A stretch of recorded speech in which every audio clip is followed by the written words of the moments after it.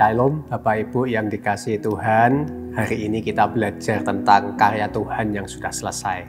Yohanes pasal 19 ayat 30 berkata Sesudah Yesus meminum anggur asam itu Berkatalah ia sudah selesai Lalu ia menundukkan kepalanya dan menyerahkan nyawanya.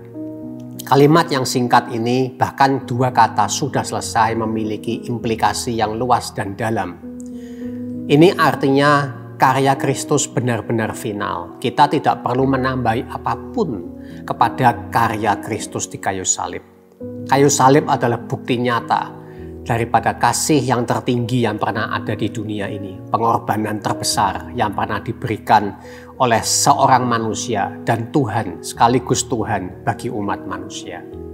Pada saat Anda sakit, pada saat Anda bermasalah sebagai pengikut Kristus, lihatlah salib Kristus itu adalah satu pembuktian bahwa Tuhan tidak sedang meninggalkan engkau, tapi Tuhan sedang menyertai engkau. Ada hal baik yang sudah Tuhan sediakan di balik segala sesuatu yang tidak enak yang engkau alami. Dan berikutnya adalah kuasa dosa telah dipatahkan. Bersama dengan Yesus, kita dapat menang terhadap ikatan dosa. Memang semuanya membutuhkan proses, tapi kita harus berjuang untuk menang atas dosa karena dosa tidaklah pernah mengenakan pada akhirnya.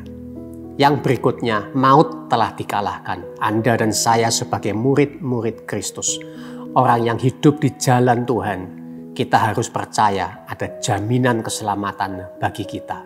Tuhan Yesus memberkati.